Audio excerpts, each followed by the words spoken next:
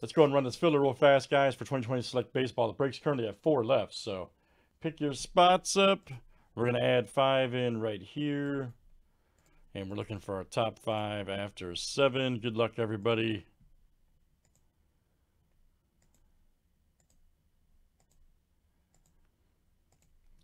All right, Michael Z, Stephen K, Stephen J, Daniel B, and Corey M. All right, you guys are in.